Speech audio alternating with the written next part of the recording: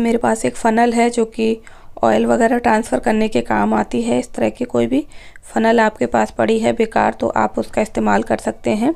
जैसा कि मैं इस वीडियो में दिखाने वाली हूँ और यहाँ पर मैंने एक प्लास्टिक की बॉटल ली है और इसके ऊपर के हिस्से को हमने कट करना है इस तरह से।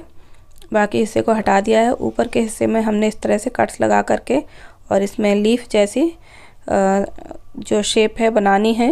इसके लिए आपने मीडियम साइज़ की कोई भी बॉटल लेनी है। और इसके बाद इसकी जो पत्तियाँ हैं, उनको हमने पीछे की तरफ़ मोड़ना है और कुछ इस तरह का शेप देना है। ये देखिए, इस तरह का पीस तैयार करना है और ये जो रिंग है, इसके अंदर इसे काट करके निकाल देना है।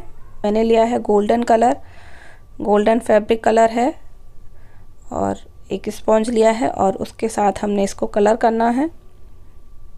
ये देखिए, इस तरह से दोनों साइड्स में चाहे तो आप इसे कलर कर सकते हैं और ये अब अच्छे से दिखाई भी दे रहा है।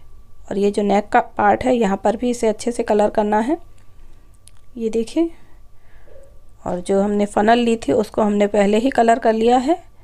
और दोनों पीस ड्राई हो चुके हैं। फ़नल के नीचे के हिस्से पर हमने गोल्डन कलर की ही लेस ली है, जिसे हम इस तरह से लगा रहे हैं।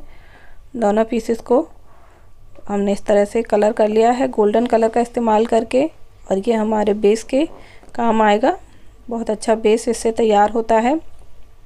ये देखिए। इस तरह से रखना है इसको और हमने लगा दिया है ग्लू यहाँ पर। और इसके ऊपर इस तरह से इसको चिपका देना है और ये देखिए एक स्टैंड की तरह से बन चुका है। इसे आप दो तरीके से इस्तेमाल कर सकते हैं। आप इसे दिया स्टैंड की तरह से भी यूज़ कर सकते हैं। आप इसके ऊपर दिया रख सकते हैं। आप इसे फ्लावर वास की तरह से भी इस्तेमाल कर सकते हैं। इसमें फ्लावर बंच लगा दीजिए तो ये फ्लावर पॉट बन जाएगा या फिर आपने दिया रखना है इसके अंदर और ये दिया स्टैंड बन जाएगा। तो दो तरीके से इसको इस्तेमाल किया जा सकता है। बहुत ही आसानी से बना सकते हैं।